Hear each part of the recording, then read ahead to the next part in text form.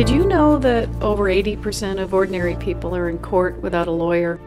Or that corporate executives say that law is the biggest source of complexity that they face? Or that 4 billion people live and work around the world outside of the rule of law? Almost two decades into the new century, the capacity of law to deliver solutions is being crushed by complexity and cost, and the struggle to keep up with and make use of new technologies.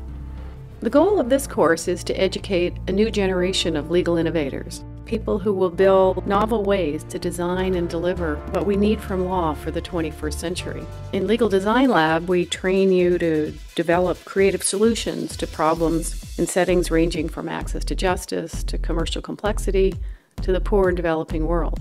This class operates as a workshop in which we learn and practice the art of rethinking law through iteration, cooperative brainstorming, and rapid prototyping.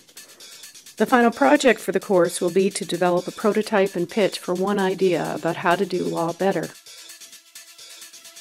We'll be drawing on ideas from design thinking, lean startups, software development, and human centered design, as well as research on the shortcomings of existing legal systems and examples of legal innovation from around the globe. And we're going to cultivate the impulse to ask questions like, why isn't there a way to? Or what if it were possible to? Or how come no one has ever?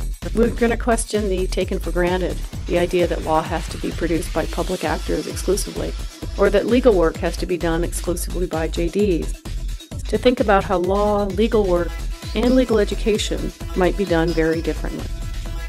Because your generation of lawyers needs to be the source of fresh ideas about the design and delivery of law, the emphasis is going to be on out of the box thinking and critical analysis of what we need law to do to support a fair and efficient legal system, economic prosperity, and the expansion of market democracy around the world. Could people get legal advice from an algorithm on their phones?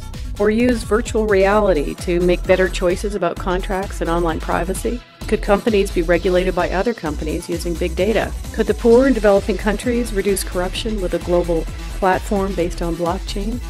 We'll be asking those questions and more in Legal Design Lab.